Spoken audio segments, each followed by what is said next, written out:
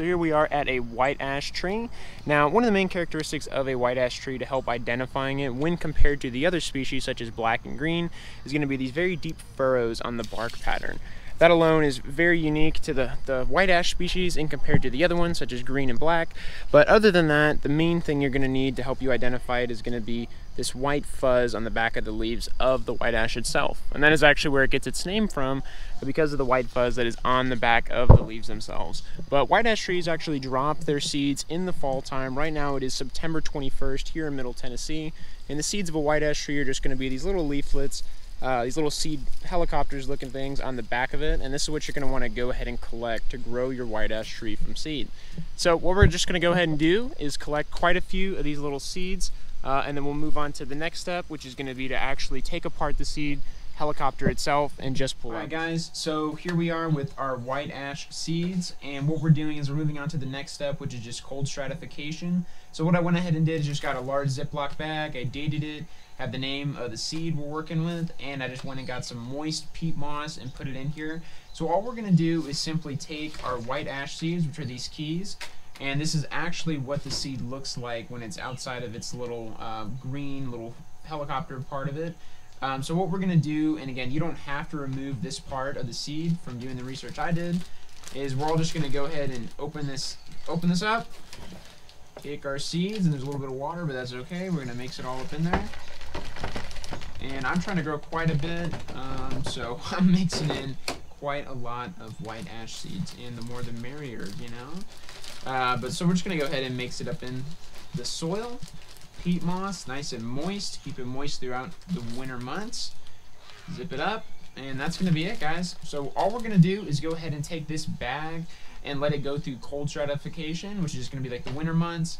So probably in you know late February, early March, we're gonna go ahead and take this out of the fridge, get these seeds planted in some pots outside, and hopefully we should be seeing some sprouts of the white ash tree um, in the early spring once we have it planted outside because it's gone through that cold stratification.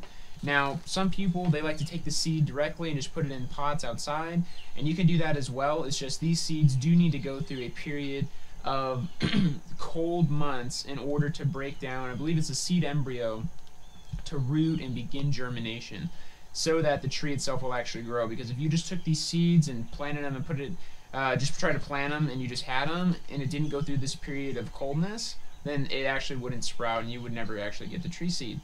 Uh, so that's going to be it for this step, guys. We're going to follow up in the springtime, and that's it. Catch you in the next one. So, gang, here we are. It is April 28th. Definitely later than I would have liked to get these white ash uh, stratified seeds planted. You can already see some rootage in the bag, uh, which is pretty cool. But usually, you know, early, early March, a little bit before March, honestly, that is when you're going to want to go ahead and get your seeds planted in pots, ready for the spring.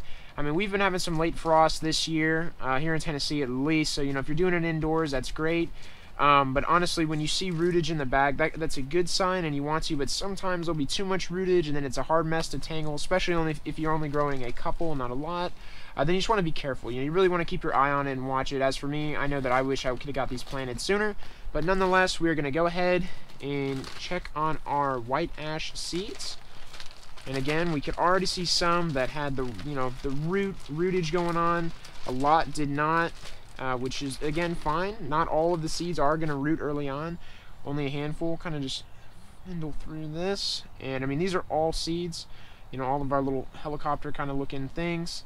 But here we go. Here is an example of a nice, stratified correctly, now germinated tree seed. And this is a white ash. It still has its, you know, little flake on it. It's rooting through it, and this is exactly what we want to see, and this is a good, good sign. I mean, it's been done correctly, so what we're going to do is literally take our seed, and not do like a half inch, an inch, or whatnot. Go ahead and lightly just put soil over it, give it a nice little tap, and honestly, that is going to be it for this step, y'all. We are going to keep this pot soil moist, keep it in the greenhouse. I just built this greenhouse, so we're going to keep it nice and secure so no wildlife is going to get to it. Uh, and we're just going to monitor it. We're going to watch it, and hopefully, in you know, three, four weeks, we're going to see a nice, beautiful stem form, and we're going to have a nice, nice, beautiful white ash sapling. And our process will be complete. So what I'm going to do is I'm going to go ahead and probably plant another 10 or so of these going to findle through these and try and find the ones that have signs that are showing signs of rootage Again, you don't have to um, do that because sometimes you won't really have any, and that's fine. Uh, but it's just an extra little precautionary step to try and help ensure that hey, you're not going to you know accidentally plant any duds and waste your time uh, with some like these. But a lot of these did not root already, so it's no big deal. But again, this is what you want to see: nice, beautiful root. Obviously, plant it. Excuse me, with the root facing down, and you should be all set.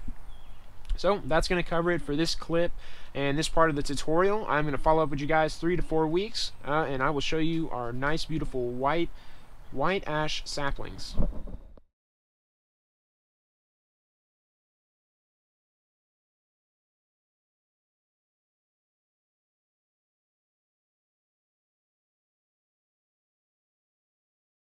October 31st, and these are our white ash uh, saplings that we have grown from seed. Now, I know it's been forever since the last clip, and honestly, it's been way longer than you'd ever want to keep them in these small pots. But this year, I've just been really busy, had a lot going on, so I wasn't able to properly manage these as, as much as I'd like to, like usual. But this is what we got. So out of all the other ones we had, I had quite a few, you know, dry out, uh, weren't getting enough water. I was watering pretty infrequently and it was just pretty bad conditions overall uh, that didn't make it. But I had these two guys that actually made it, survived, and are thriving. So this white ash sapling had like one leaf, wasn't doing too good for the longest time, for many months, and then I put a bag under it and would fill it with water so it would keep the soil moist. So I, because I couldn't water, I'd water every, you know, two weeks, and that just wasn't enough. And this one over here actually rooted through the pot and into the soil in the greenhouse, and it's just been thriving. It's been doing really good with the amount of time it's been since the last clip, you definitely should see the sapling looking more like this. And the only reason this one isn't is because I haven't been able to water, I still hadn't transplanted it, and what you'd want to do is once it's around this size and it's good and moist and you're taking care of it, you want to transplant it to a larger pot, something like this. Just because it is a tree and trees need room for deep rootage, uh, and these little pots are great for starting off, but they're definitely not something you want to keep it in long term. Unfortunately, like I've done this year. So that is going to be it. That is the completed tutorial for how to grow white ash from seed. Uh, these are beautiful trees. They can be a little bit of a nuisance with all the seeds they drop, but nonetheless, here they are. This is completed tutorial. Now, what you'd want to do uh, is just make sure you keep the pots moist. That's the biggest thing I can suggest. Keep the pot moist. Make sure you got a good soil mix, your native soil with maybe some potting soil and or tree or shrub soil from Lowe's. And then also make sure that you're planting it in a large enough pot uh, just because, again, trees need room for rootage, and you don't want to, you can actually cause uh, the roots to get bound when you have small little pots like this. So that's it for this video. Hope you all enjoyed it. Again, sorry about the delay. Wish I had them in bigger pots and everything for you all, but they look great, and that's it. Catch you in the next one.